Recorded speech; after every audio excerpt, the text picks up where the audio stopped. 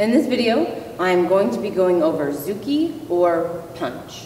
The first thing that I'm going to go over is the proper way to make a fist. When you're making a fist, you do not want to tuck your thumb into your palms or have your thumb out on the side sticking out. You will end up potentially injuring your thumb when you try to punch something. Also, if it's tucked into your palm, that doesn't give you the ability to make a strong fist and again can also injure your thumb. So to start, you want to take your fingers and you want to curl them into your palm as tightly as you can. Then you're going to take your thumb and you're going to put it in front of your fingers. So think about trying to use your thumb to hold your fingers in place. When you are throwing a punch, you want to strike with the top two knuckles. There are a couple reasons behind this.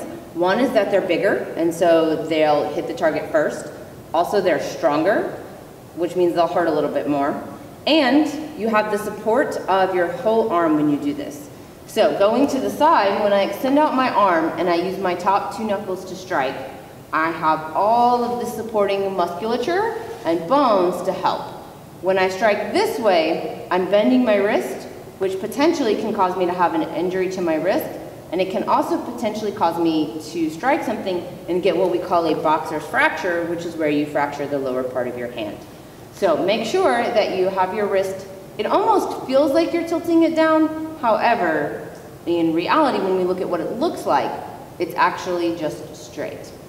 So that's how you want your wrist to look. The same thing when we rotate and we're punching sideways, and I'll actually pull my arm down so you can see the same view, because if I hold it up, it'll be a little bit more difficult.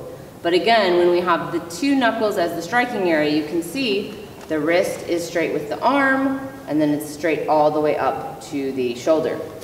So, Zuki can be thrown with both your front hand and your back hand, and I will demonstrate both. We're gonna start by getting into that fighting stance. We want our hands where they need to be to help protect our body. I'll do the backhand first. So when I throw anything with the backside of my technique and it's a hand strike, or even most of the time when it's also a kick, I'm going to want to rotate my body to help generate force and speed. So as I go to throw this punch, I'm actually going to come up on the ball of my back foot and I'm gonna rotate and I'll rotate my hips and my shoulders to help with that spinning and force motion.